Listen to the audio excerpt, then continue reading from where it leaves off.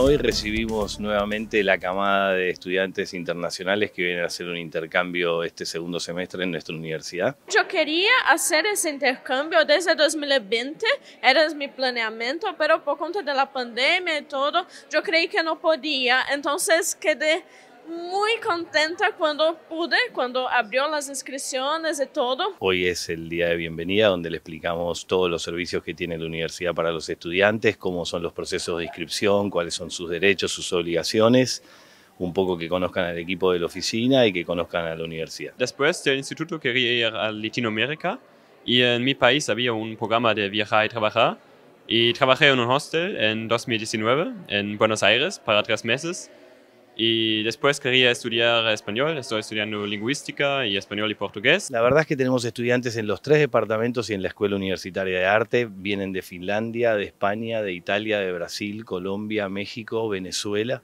Me gustaría mucho la Universidad de Quilmes porque es una referencia en la área que yo estudio. Yo hago historia.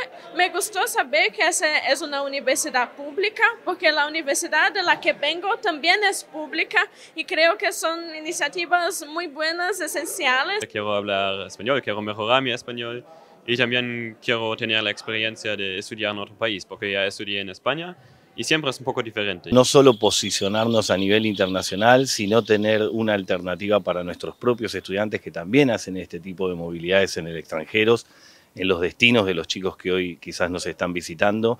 Entonces es una herramienta más que fortalece la formación académica de nuestros estudiantes y al mismo tiempo los que nos visitan enriquecen nuestras, nuestras aulas.